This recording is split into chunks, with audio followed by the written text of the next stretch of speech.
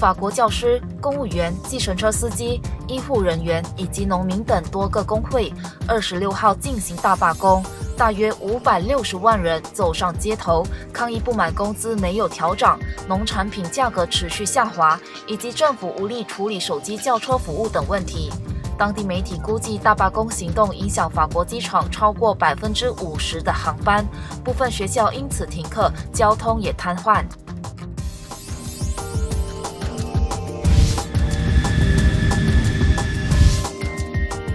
有蚊子传播的寨卡病毒冲击着巴西等美洲国家。根据世界卫生组织最新消息指出，这病毒有可能通过性接触传播。目前已经发现一个疑似病例，但还需要更多研究来确认性交传染的说法。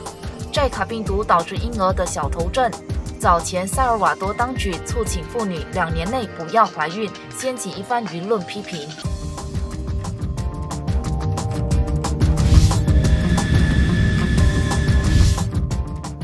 瓶瓶堆满空地上的各式各样洋酒，无论等级多高档或昂贵，都即将被销毁。配合一年一度的国际海关节，巴基斯坦海关人员二十六号在空地上使用压路机压毁数以百计的非法走私酒，同时烧毁走私到该国的毒品。